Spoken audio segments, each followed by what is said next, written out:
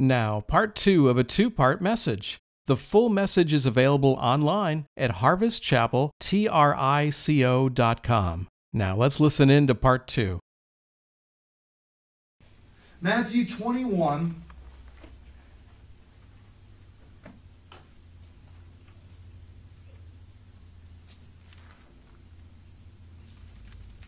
And we have the fulfillment beginning of the Passover festival. It couldn't be any other day. This had to happen on the 10th of Nisan because Jesus is the fulfillment of the prophecy of the Passover festival. It always looked. That's why they remembered. That's why they celebrated. It was a promise that God was going to, the same way He delivered them out of Egypt, He was going to deliver them from the sin nature, that the Messiah would come. They looked forward by faith. Now, verse or 21 1. Now, when they drew near Jerusalem, teaching peace, and came to Bethpage, what does that mean? Figs or something? Boy, I'm in the wrong place. Doesn't matter. We're not going to really talk about it. To Bethpage at the Mount of Olives. Wonder what they had on the Mount of Olives. You think it was olives? Olive oil? Do I even have it? Yes, found it. Bethphage means fig house, house of unripe figs. At the Mount of Olives, then Jesus sent two disciples. Listen, I'm going to stop there. Don't be a lone wolf McQuade. Don't be by yourself. Don't think I'm okay. I'm out here by myself. Jesus, the Christ, God in the flesh, sent them out in two so that they would have accountability. The devil wants to isolate you and then decimate you and destroy you. We don't teach that much in the churches anymore. Saying to them, Go. That's what he said to us. Into the village opposite you, I believe it's Bethany, and immediately you will find a donkey tied and a colt with her. Only Matthew mentions both of them. It doesn't make the other uh, evangelist or um, writers of the Gospels wrong. They just focus on the colt because it's Zechariah 9 9, the prophecy that it would happen.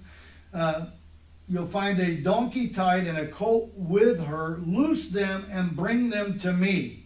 And if anyone says anything to you, you shall say, The Lord has need of them, and immediately he will send them. Really speaking of that, when he sends us and tells us to go, that we have his authority when we say the word of God. When we say what Jesus has said, we have authority. We go in his authority. We go in his power, but we go to speak what he has instructed and what he said, not what we want to make up.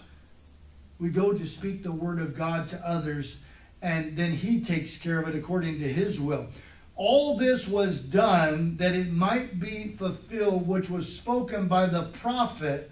Tell the daughter of Zion, Behold, your king is coming to you, lowly, sitting on a donkey, a colt the foal of a donkey. Now, of course, that's Zechariah 9 9. 500 years earlier, it was written. I'm not going there for the sake of time. I'm moving forward quickly.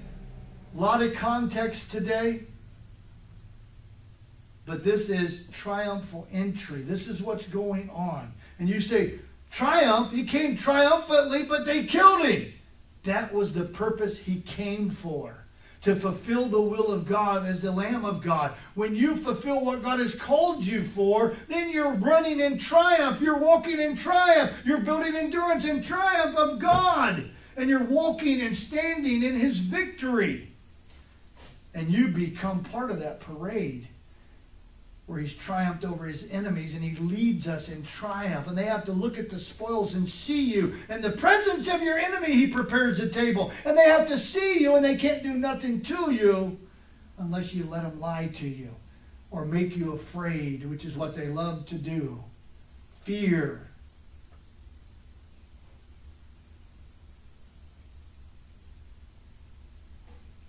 He's coming back on a white horse. Right now, he's entering in humbly and giving his life for the sins of the world. And this is what they traditionally call Palm Sunday, 10th of Nisan, What happens, Greg? Look at verse 6. So the disciples went and did as Jesus commanded them. Listen to me. It's six on purpose. The number of man is six.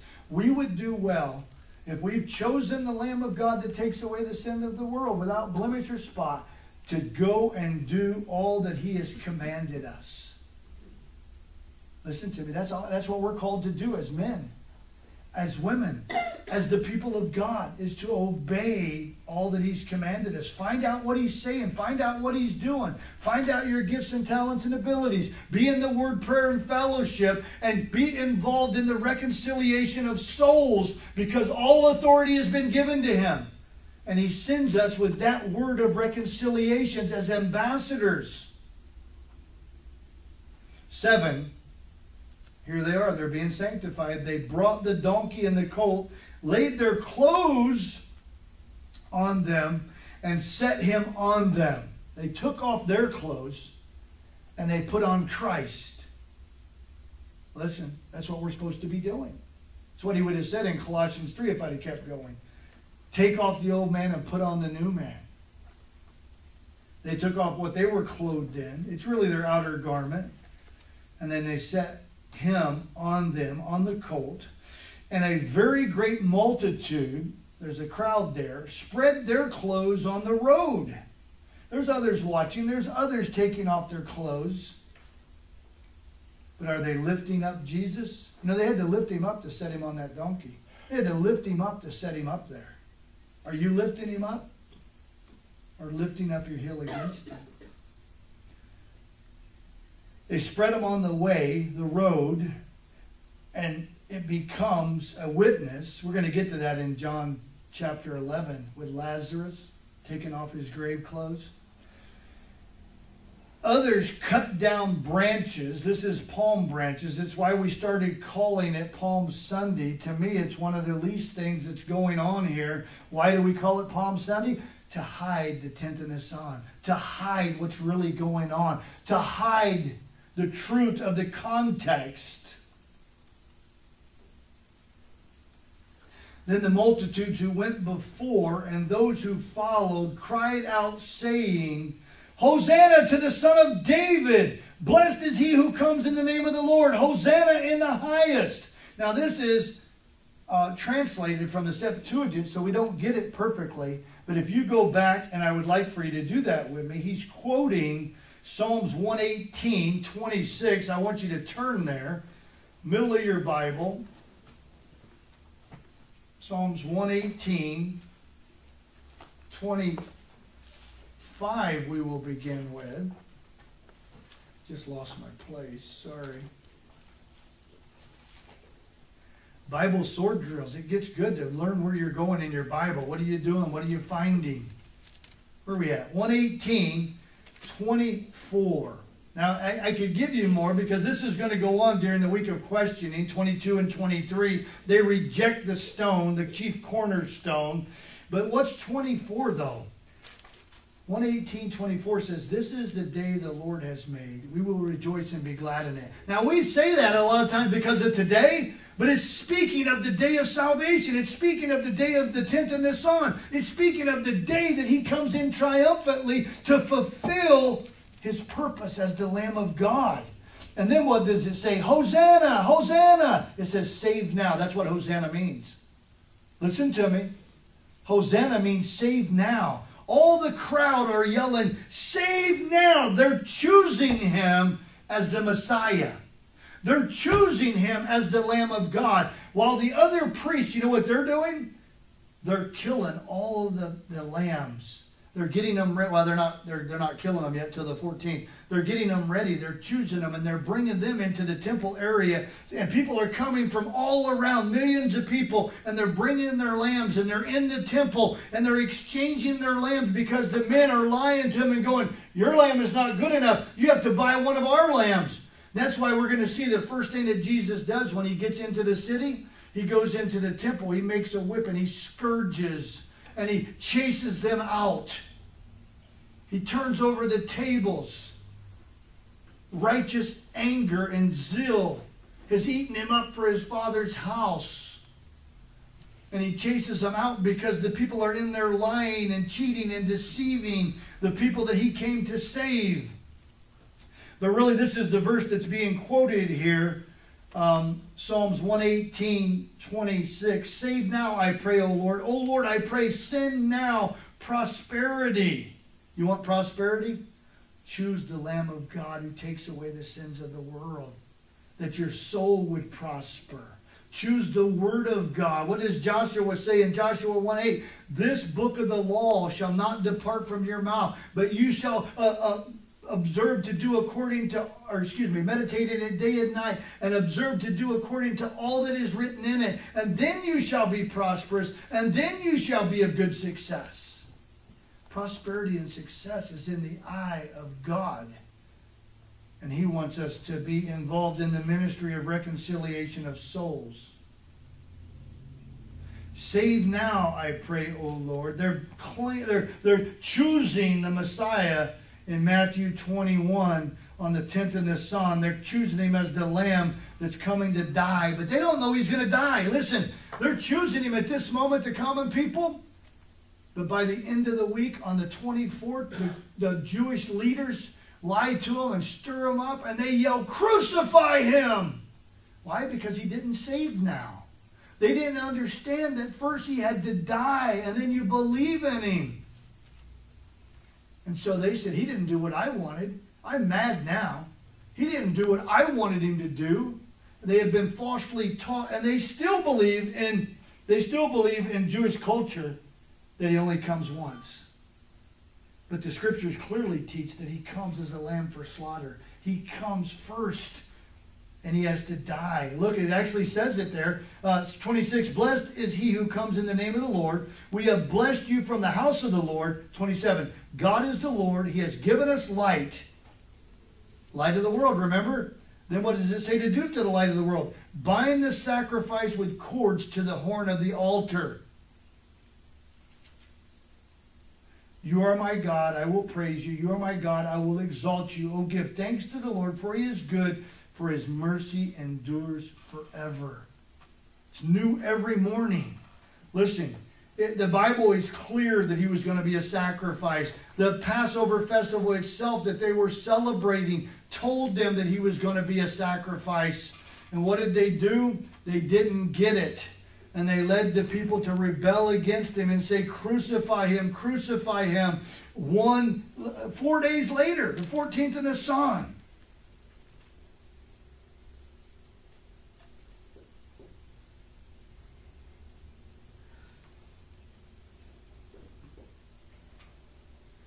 back in our text.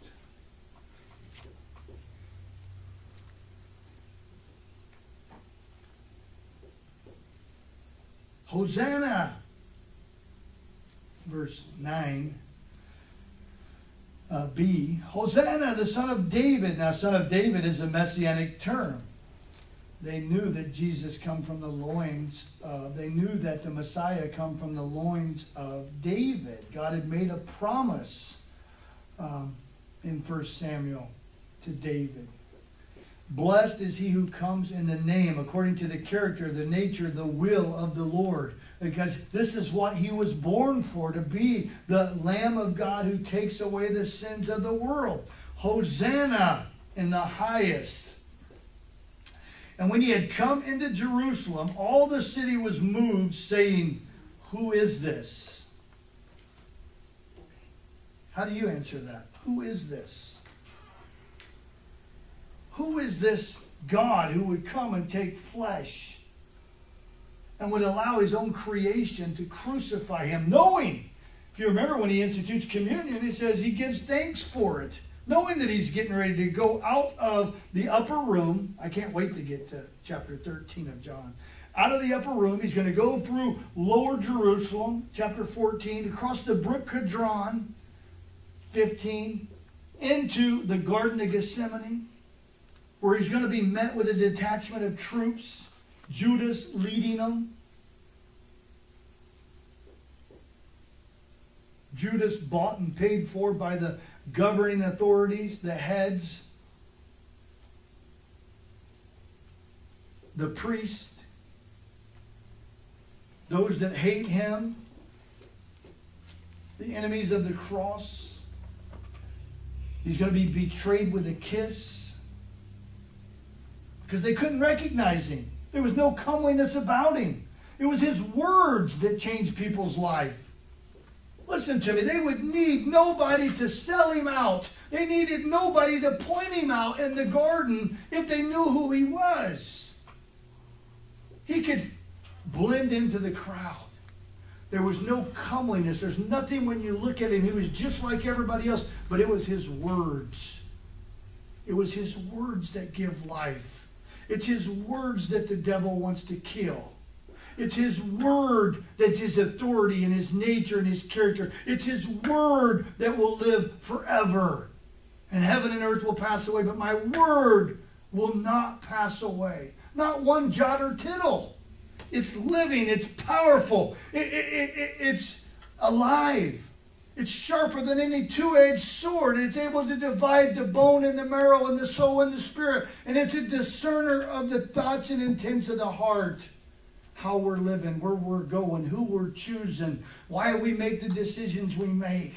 It will lead us to bear fruit. It will lead us in triumph if we put it first and give it its place. It will complete the work it started until the day of Christ Jesus. It will sanctify and cleanse us. In John 17, Jesus says, Sanctify them with truth. Your word is truth. That's how we're set apart to do thy will, O God. Who do you say it is? Who is this that would cause such a stir in all nations, in the whole world, in all places? They hate Jesus. And they want to kill his word.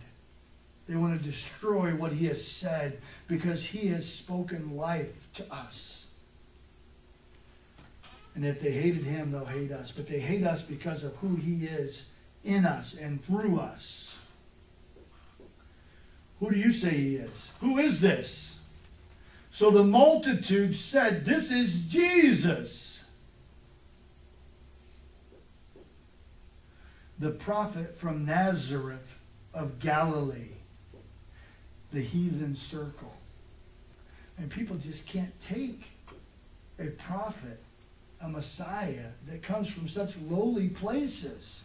Give them a hero from Hollywood. Give them a sports hero. Give them some pope. Give them somebody that looks like they're somebody. But what about lowly, humble, obeying a father, riding a donkey, laying down his life, allowing them to beat him? You know that, they, that they're going to arrest him.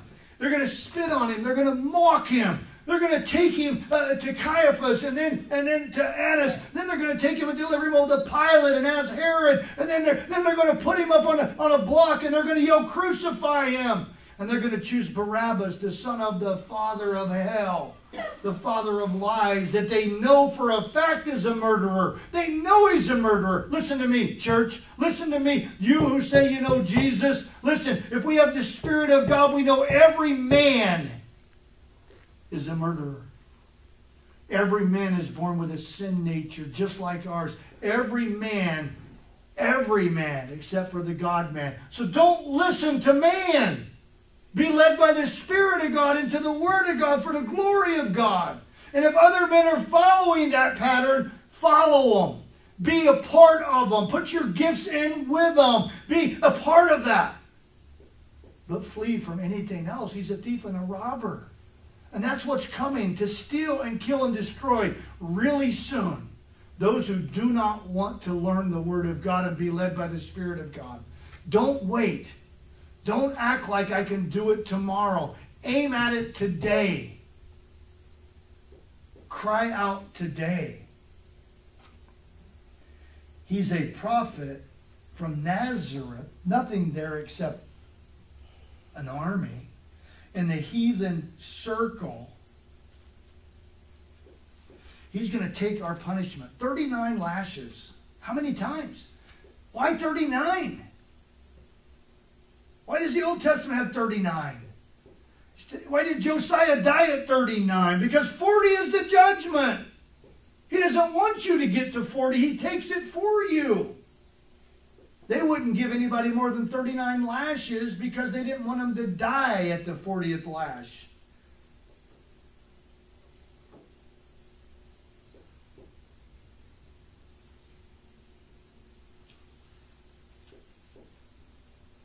So, just like the festival, chapter 21 continues.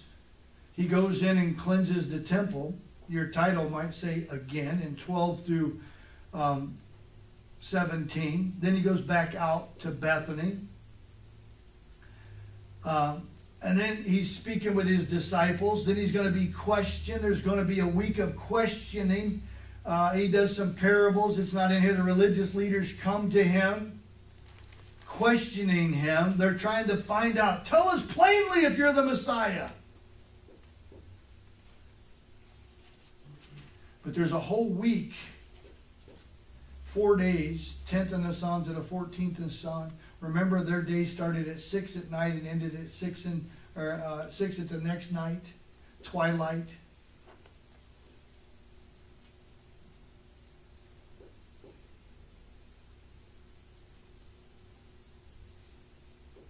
chapter 26, 26 1, we're told that uh, it came to pass. Don't you just love it that everything that's in the Word of God is going to come to pass?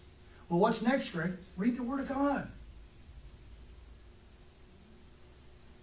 Study the Word of God. Cry out to Him now. Just be in Him. If you can't learn the Word of God in time, know that you're right with Him today. Ask Him to forgive you today. Confess your sins today. Ask the Holy Spirit to wash and cleanse you today. One prayer is all it takes. Today is the day for salvation. Salvation is a continuing thing. He tells them in 26 1 there's two days to the Passover, and the Son of Man will be delivered up to be crucified. And then we're told that they were plotting. Even as he's speaking about it, he knew exactly what was going on. He knows exactly what's going on right now on planet Earth. Everything. Nothing is out of his sight. Listen to me. He knows they're plotting, they're planning. We don't. We sit around and we pass articles back and forth and we talk about things and we talk about men and we should be lifting up Jesus. These men are nothing. If they don't get saved, they're going to burn in hell that's trying to take over our planet. But what are they doing? They're trying to destroy God's creation. The creation that Christ came and died and yea, rose again on the third day to save. They're trying to change their DNA with mRNA. They're trying to destroy the man, male and female that God created them. They're trying to completely destroy what God has done in creation and have their own little utopia without God. No God, they would say. It's really interesting to me, though, that that day came on April Fool's Day this year. I don't know what it means. God does.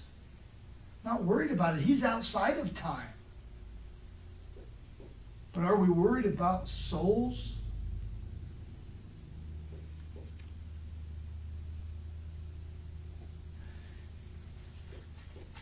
They're going to crucify him.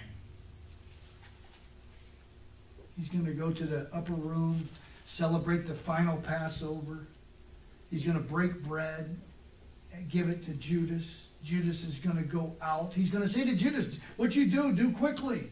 He's going to go out and it's going to be dark in his life forever. He's going to betray the Lord and Savior. I think we'll pick up on it next week. Listen, today is triumphal entry. Next week is Resurrection Sunday. Don't be afraid to change what we've always said, to repent and turn and stop saying Palm Sunday. Stop saying Easter. I'm not saying you have to. You're not going to hell for saying words. We're going to hell if we go to hell for denying God, for saying no to God, for not believing God, for not following God. We're saved by grace. God's already given us this great salvation. Why don't we enjoy it? Why don't we walk in it? Why don't we tell others about it? Why don't we rest in the finished work that the blood of Jesus has given us? All the riches of the heavenlies. Don't hide the evidence. Don't hide the evidence. You hear me? Don't hide the evidence that Jesus got up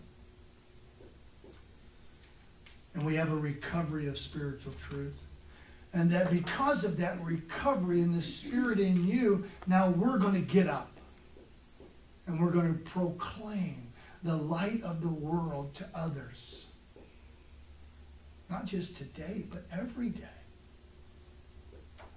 Because of the ministry of reconciliation of souls.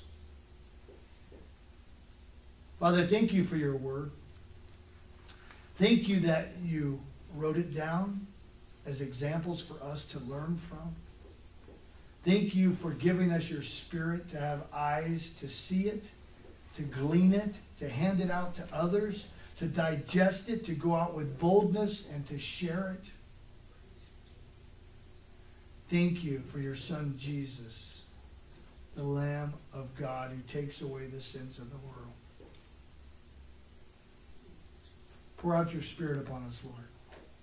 Give us a desire to go and make disciples of all nations, baptizing them in the name of the Father, the Son, and the Holy Spirit, and teaching them to obey all that I commanded you. And lo, you are with us always, even to the end of the age. Thank you for such great, precious, and true promises. Even so, we pray, come quickly, Lord Jesus. In his name we pray. Amen. The Lord bless you. And that concludes today's message on Who Am I with Pastor Greg Tyra of Harvest Chapel in Williamsport, Indiana. If you're in the area, we would love to have you as our guest. Harvest Chapel is located at 418 Old State Road 28, Williamsport, Indiana 47993. We meet for worship on Sundays at 10 a.m. Our prayer meetings meet Wednesdays at 6:30 p.m. Our Bible study meets on Friday at 7 p.m. Today's and previous messages are available on CD. If you would like a copy, please call 765 404 7203. We look forward to seeing you again next time on Who Am I? Whom shall I fear? Whom shall